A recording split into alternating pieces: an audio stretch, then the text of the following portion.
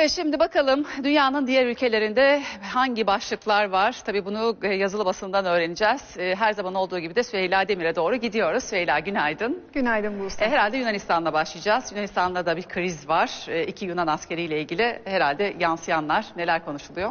Evet Yunan basınının gündemi, Yunan halkının gündemi günlerdir bu konu. Ancak şöyle bir durum var artık Atina'da, Yunanistan'da. Giderek Atina hükümeti üzerindeki baskı ve eleştiriler çoğalıyor. İşte bunu Yunan basınında, Yunan gazetelerinde bugün çok net görüyoruz. Eleftheros Tipos gazetesini seçtik bugün. Gazetenin e, sağ köşesinde Yunan yetkililerin açıklamaları var. İlk önce Yunan e, Yunanistan Dışişleri Bakanı Nikos e, Koçias'ın açıklamasını görüyoruz. Diyor ki iki askerimiz ne zaman geri dönecek bilmiyoruz. Evet ısrarla sorular, ısrarla eleştiriler yöneltiliyor dedik ki e, Yunan hükümetine. E, gerekli adımları atmamakla suçlanıyor muhalefet ve basın tarafından Yunan hükümeti. İşte bunlara da bir cevap ver- verdi e. Bilmiyoruz ne zaman sonuçlanır dedi. Hemen altında Yunanistan Başbakanı Çipras'ı görüyoruz. O fotoğrafa gazete şu yorumu eklemiş.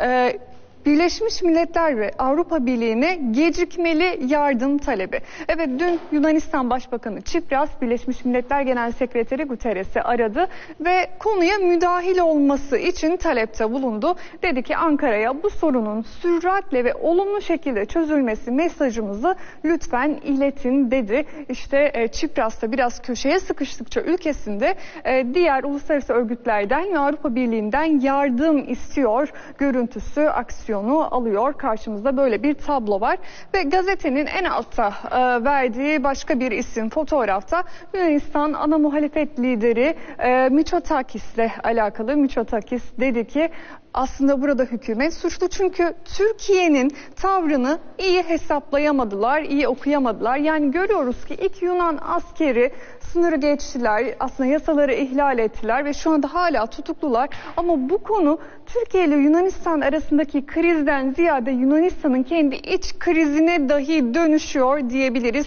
Basın bize bunların e, işaretlerini veriyor ve şimdi Amerikan basınına bakalım. Orada e, dünya sayfasından bir haber seçtik. Gündemde tabii ki ön plana çıkan konu e, Afrin'deki durum.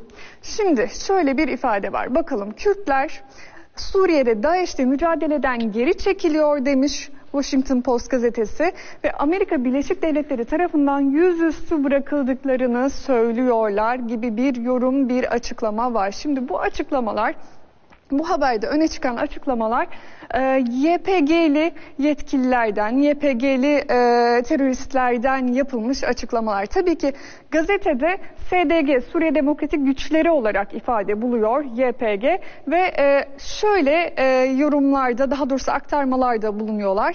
Amerika Birleşik Devletleri'nin Suriye'nin doğusunda ittifak yaptığı güçler Türkiye'ye karşı savaşmak için DAEŞ'le mücadele ettikleri cephelerden geri çekildiklerini açıkladılar. Kürtlerin hakim olduğu Suriye demokratik güçleri Amerika'nın kendilerini hayal kırıklığına uğrattığını ve bu nedenle Deir ez-Zor'daki birliklerini Afrin'e çektiklerini söylüyor demiş gazetede. Bu ifadeler yer bulmuş ve şöyle de bir yorum yapılmış.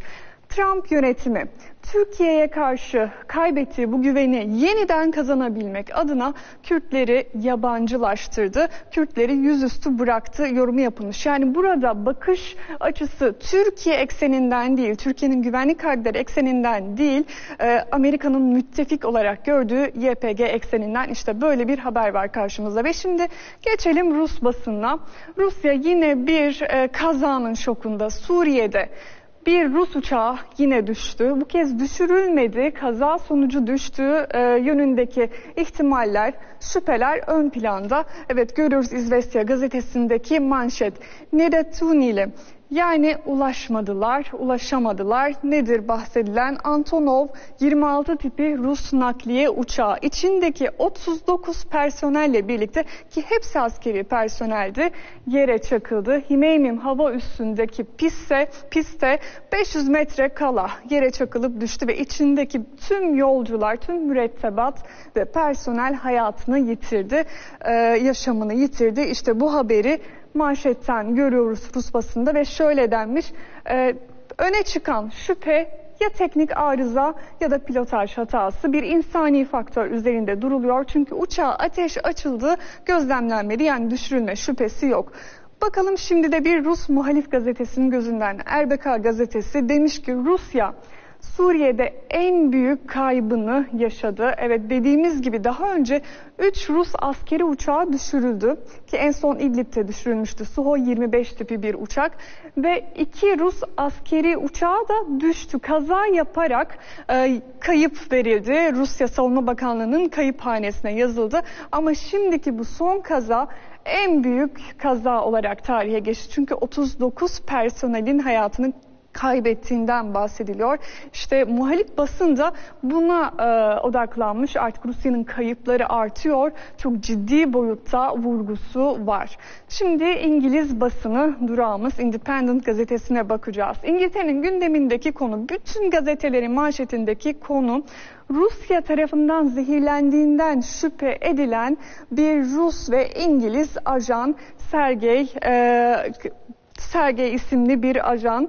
Ee, şimdi biraz konuyu özetleyelim. Aslında Sergey Skripal e, bir Rus ajanıydı. Yıllarca Rusya için çalıştı ama 1990'lı yıllardan itibaren İngiliz istihbaratına bilgi vermeye başladı ve bu Rusya tarafından tespit edilince 13 yıl cezaya, hapis cezasına mahkum edildi. Sonrasında bir takasla Amerika Birleşik Devletleri'ne gitmişti ve İngiltere'de yaşıyordu derken zehirlendiği şüphesiyle hastaneye kaldırıldı ve yanında kızı da vardı. Independent gazetesinde kızının da fotoğrafını görüyoruz. Şu anda yoğun bakımdalar yaşam mücadelesi veriyorlar ve bu İngiltere'nin bir numaralı gündem konusu. Bakalım Independent gazetesi ne yazmış manşetinde? Diyor ki İngiltere Dışişleri Bakanı Boris Johnson Rus ajanı konusunda çok saldırgan, çok sert açıklamalarda bulundu. Dedi ki eğer bu işte Rusya'nın parmağı olduğu kanıtlanırsa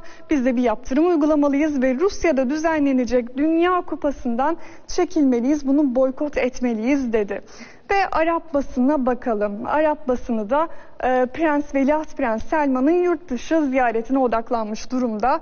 Evet e, manşeti okuyoruz. Veliaht Prens tarihi İngiltere ziyaretine başladı deniyor. Dün ulaştı Londra'ya Veliaht Prens ve programında CEO konferansına katılmak, İngiliz yetkililerle buluşmak ve iş adamlarıyla bir araya gelmek gibi bir dizi e, buluşma, görüşme var.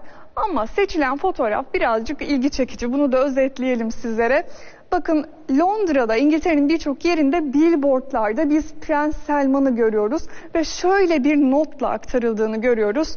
Prens Selman Suudi Arabistan'a değişim getiren isim. Bakın olumlu bir imajı var ve bu ziyaret ardından Fransa ve Amerika Birleşik Devletleri'ne de gidecek Prens Selman. Bu ziyaretten çıkacak sonuçlar çok kritik. Bu işbirlikleri belki de önümüzdeki dönemde dünyanın da nasıl şekilleneceğini bize söyleyecek, ipuçlarını verecek. Ve son durağımız Amerikan basını Wall Street Journal gazetesinde e, manşette şu ifade var. Cohn Donald Trump'la yaşadığı görüş ayrılığından sonra istifa etti. Evet Beyaz Saray'da yeni bir yaprak dökümü var. Trump'ın ekonomi danışmanı Gary Cohn gümrük vergisi konusunda görüş ayrılığı yaşadığı Donald Trump'la yollarını ayırdı, istifa etti görevinden. Çünkü Trump'ın alüminyum ve çeliğe vergi, ek vergi getirmesi politikasını desteklememişti. Trump yine kan kaybetti Buse. Amerikan basında bunu yazıyor. Trump göreve geldiği andan itibaren Amerika'da soğuk rüzgarlar esiyor ama yarın daha soğuk olacak. Kuzey için özellikle kar fırtınası e, alarm var. Gerçi Türkiye saatiyle bugün diyelim Amerikalılar için zor geçecek. Teşekkür ediyoruz Süheyla Demir'e.